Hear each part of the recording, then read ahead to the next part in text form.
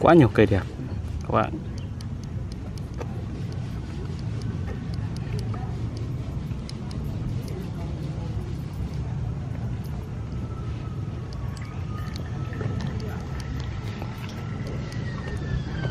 Tác phẩm này là tác phẩm mộc thạch trường tôi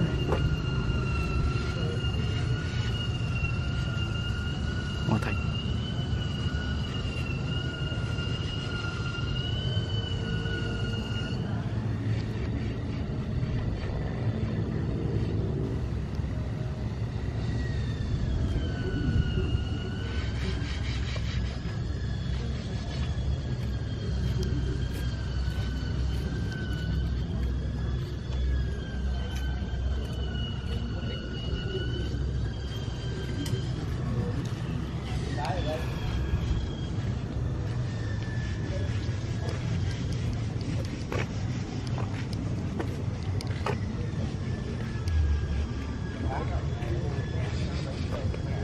tác phẩm hồn quê.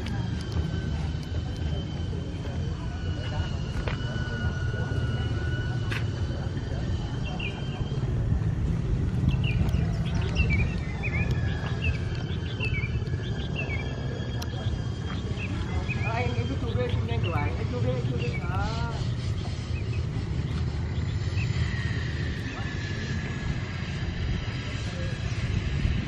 cái này bao tiền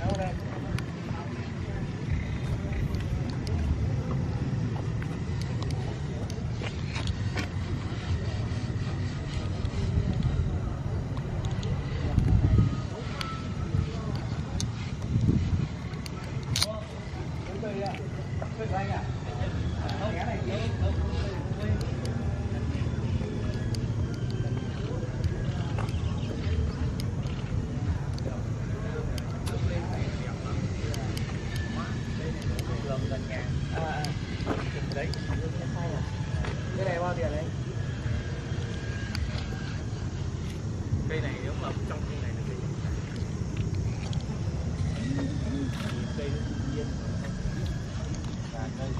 anh anh té em phát này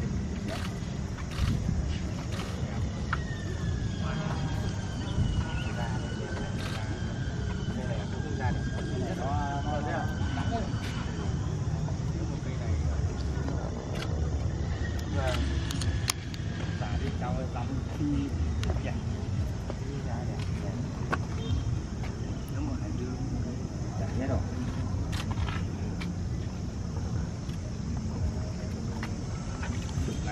xay Hải Dương bây giờ khu ở trên này không biết như ở khu huyện Kim Môn là, là đẹp nhất.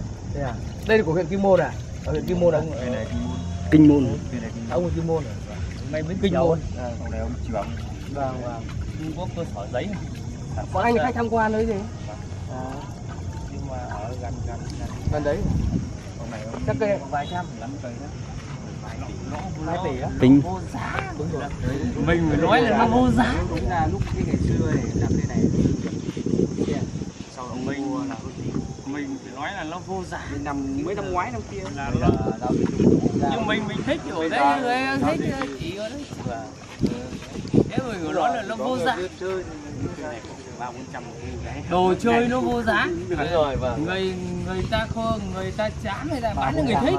giá, giá trị tùy vào mỗi người thôi. Ờ. con quái mà bảo là cái cây dáng gọi là chào các anh